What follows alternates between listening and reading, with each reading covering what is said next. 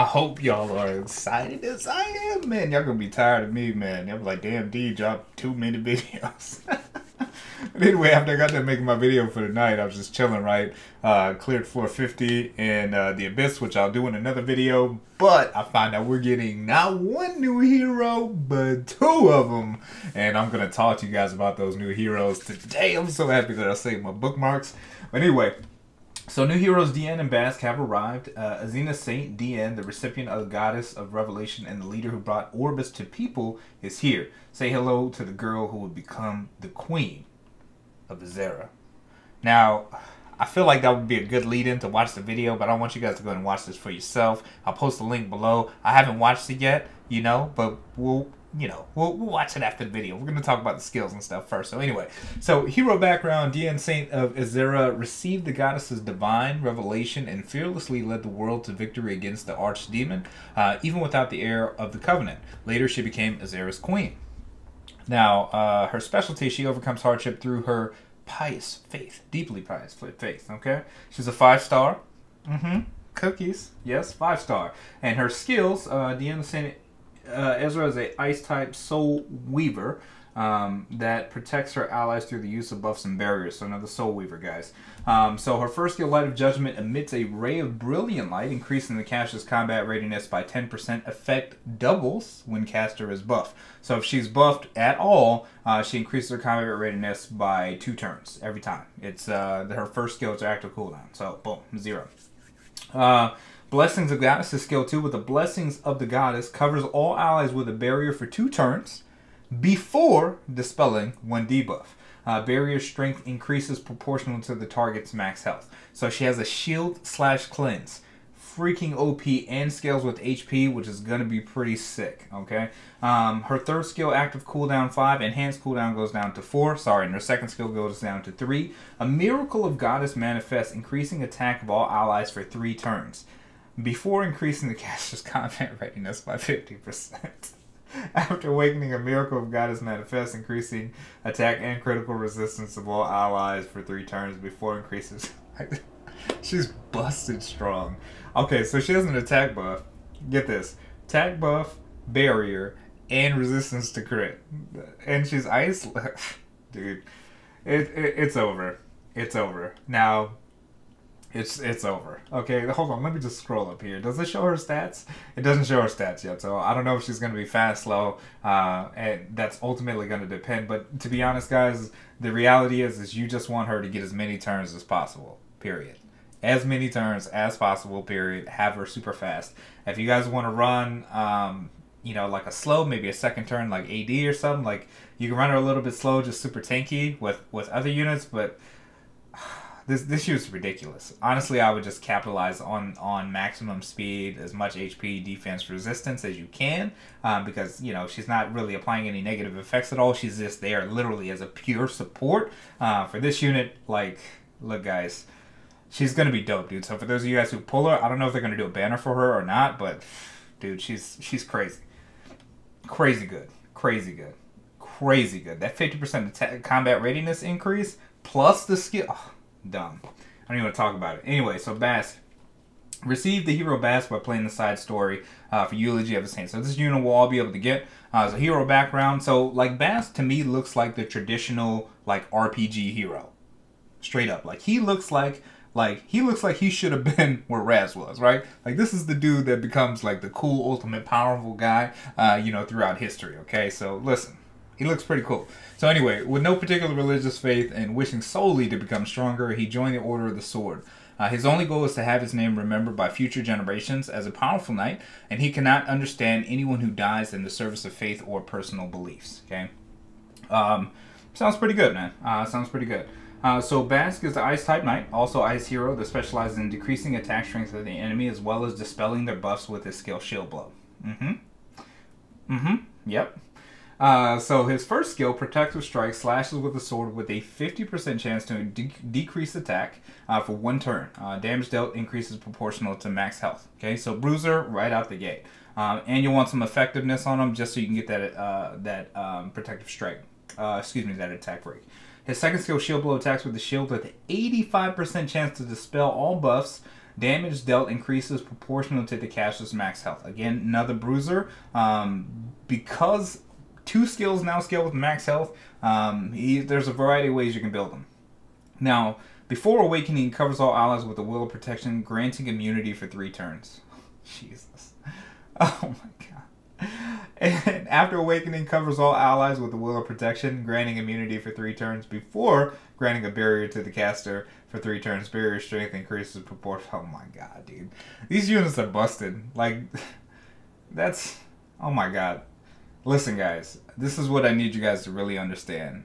If this unit is anything above 100 speed, be prepared to run into this unit in arena all the time, on defense, all the time. Why? Because they're going to position him fast. He's going to buff shield and immunity, and you're just going to have to deal with that. And what's going to happen is he's going to create an opportunity for players to now create those second turns. Uh, those those second turn uh, arena offenses, meaning will literally build an arena offense slower. So we go second. However, he'll be fast. He'll go. He'll use his shield and his immunity. We'll be immune to all of your effects. Then we'll just hang out. you will let you burn all of your cooldowns, and then we'll just smash the hell out of your AO. So, listen. Um, be very, very cognizant of this unit. The Nat 5 is strong. The Nat 3 is very strong. Okay. Well, I mean, the Nat they're both very strong, to be honest. Um, but this this is this is gonna be huge. Okay, this is this is this is gonna be really really huge. Um, it doesn't look like he gets a cooldown reduction, and makes sense naturally so because that skill is just OP. Uh, to be honest, uh, but this unit is going to be able to be used pretty much anywhere. Banshee, he's going to crush Banshee. Honestly, if you need a tank community with Shield, Banshee is going to be OP there. OP and Wyvern if you're trying to run a tank there, although later on probably in 10 you'll be running full damage anyway. Uh, however, with this unit, you got a couple of options. You can run a super fast support like a speed HP HP, uh, triple HP build if your speed substats are high enough. Again, if you're running like a second turn, uh, if you plan on going second, if you're building your team slow because you know you can stand the brunt of the damage, uh, then you can build them a little bit slower.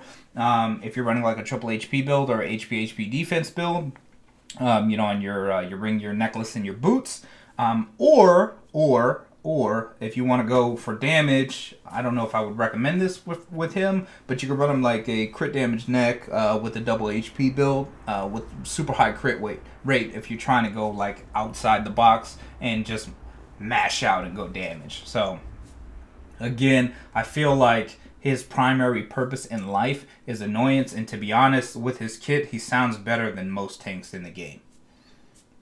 like straight up um, for for support purposes. Um, like he is the truest sense of the word tank um, so far in this game, and we all get him. So be prepared, guys. Be prepared. Uh, hopefully he's slow. Hopefully he's like 90 speed. Then you won't see him as much. But if he's above 100 speed, be prepared. Just just letting y'all know right now because it's gonna get crazy. All right.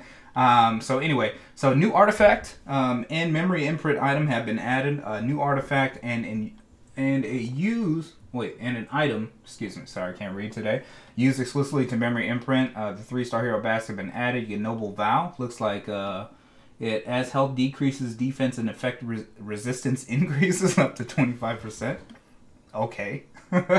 Um, that's a knight exclusive though. That's pretty annoying. That's going to be op pretty much on any knight character class uh, so that's pretty good um, and then looks like we got uh, old pocket watch here that increases.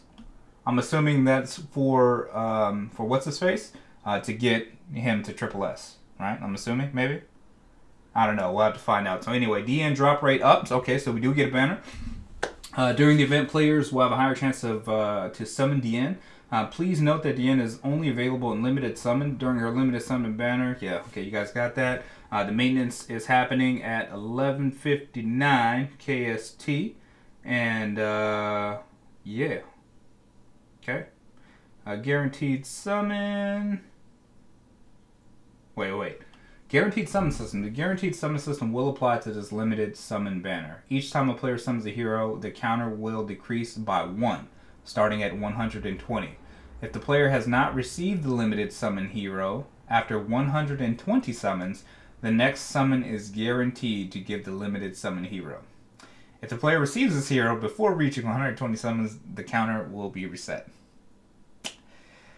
All right, so they just basically guaranteed everybody the best healer in the game. No, I'm just kidding. But no, seriously. Seriously though, yeah. Um, all right, so so two things here. Uh, before we get into the rest of this, the thing that scares me about this is um, a these heroes are going to be everywhere. They're really really strong. Um, so what that's going to force players us to do is now look for counters. Um, so any kind of strippers or people that AoE beneficial effect removal, things like that, are going to start to become really, really important. Um, because now everybody literally is going to have these units except for players that come in after this, okay? Uh, because she's a limited summon, right? Uh, you know, unless they pull her on this thing, right? So legit, everybody's going to have these heroes. So you can expect double barrier comps, double immunity comps. Like it, it's going to get stupid.